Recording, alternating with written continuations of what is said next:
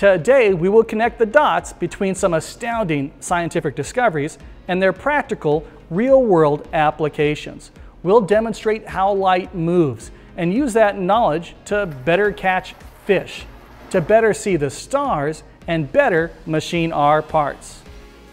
The subject of this Haas tip of the day will change the way that we see our world. No kidding.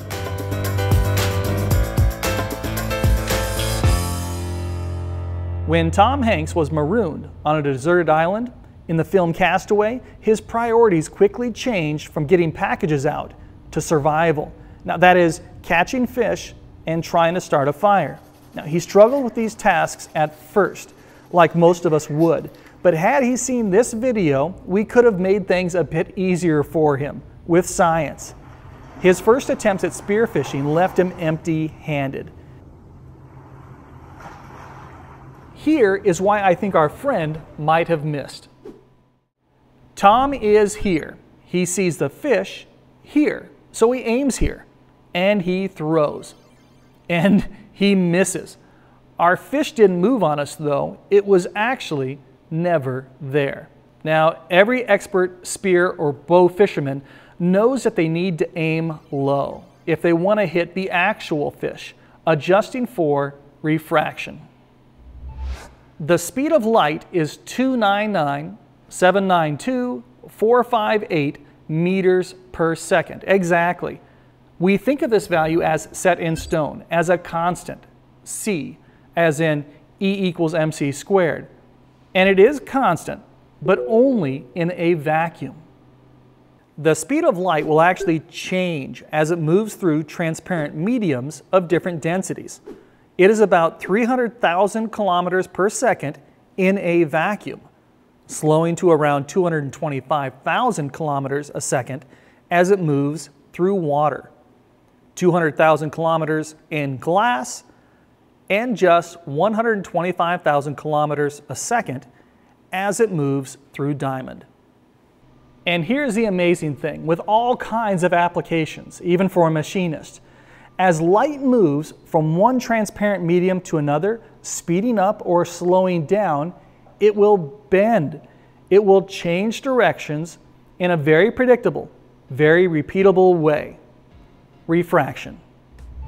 Materials like glass have a refractive index of about 1.52. Acrylic is slightly less at 1.489.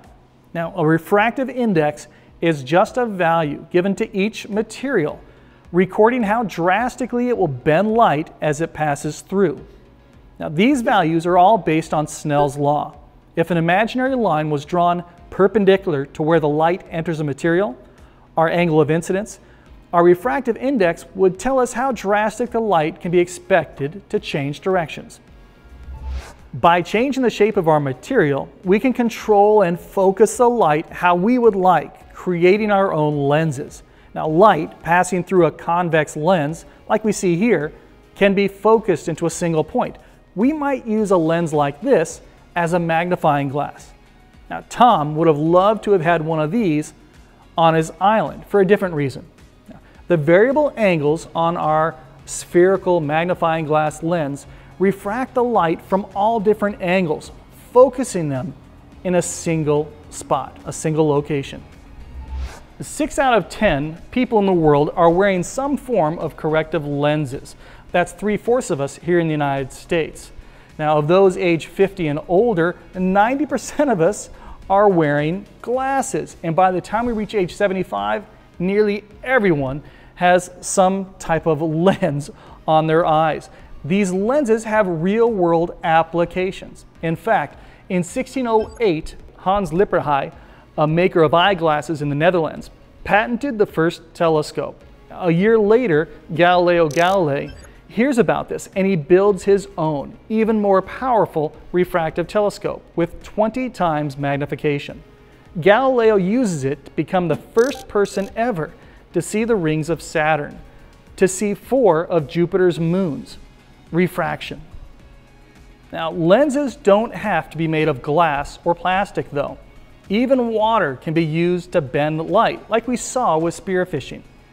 We can use this vase as a lens. In this case, our focal point is so far away from our lens that the image is actually reversed. Liquid lens, focal point, and our logo so far away from our focal point that the image is reversed. Now, any fluid that light can pass through can be used as a lens. Even a spherical bottle filled with water can be used as a magnifying glass.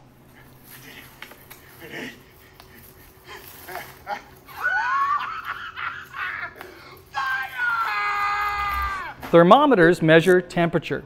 Voltmeters measure volts. Micrometers measure length or thickness, and our refractometers measure refraction. By measuring how much the light refracts as it goes through a liquid, we can actually tell what kind of liquid we are dealing with or how concentrated it is. Beekeepers can use refractometers to measure the moisture content in their honey. Winemakers can use them to measure the sugar content of their grapes or to measure the amount of alcohol in their wines. Refractometers are used throughout the food and medical industries, but here in a machine shop, they play the critical role of telling us our machine coolant concentrations. If our machine coolant concentration drops below 4%, our machine and our parts could rust. A low concentration can cause us surface finish problems. It can lower our tool life, even causing our taps to break. Now, coolant above 10% can make our parts slimy, wasting coolant, while an 8% coolant concentration is usually ideal. Now, every brand of coolant is different and might require a little bit different ratio. Managing our coolant concentration is central to machining good parts. Our machine coolant helps fight bacteria. And it also helps to keep our pH levels in balance, which in turn are going to keep away any fungal growth. This is one of the reasons why our machine coolant and our machine coolant concentration is so important. The precision lenses, scales, and stacked optics in our refractometers give us the precise data that we need to do our jobs. Before we use our refractometer, we will calibrate it by putting a few drops of water on our lens. We'll adjust the eyepiece, focusing things until we see a clean, sharp blue line. That blue line is actually a demarcation line painted onto the underside of our prism, the lens at the front of our refractometer. Adjusting a set screw, we can move an internal lens up or down, zeroing out our scale.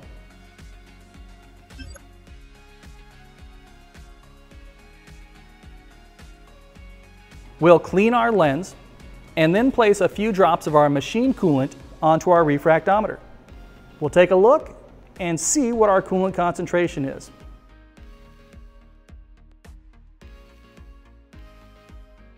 Our machine coolant will have a different refractive index than our water, and so our internal blue line will appear in a different location. The blue line didn't move, it just appears to have moved, like Tom's fish in our tank appeared to be in a different location because of refraction. It will feel like we need to place a lot of coolant, our sample liquid, onto our refractometer, but it does not take much. Looking back at our fish tank, we can see that the light did all the bending it was going to do right where it moved from air to water, or blue jello in our case.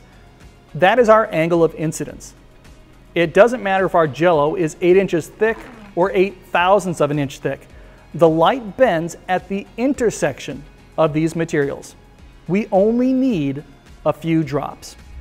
The magic of a refractometer happens within this first initial lens. The light bends at a precise angle when moving only from air to glass. And if a thin layer of water were placed on the lens, the angle would change. And that angle would change again if the lens were covered with a thin layer of machine coolant. The angle would change depending on how concentrated our coolant was.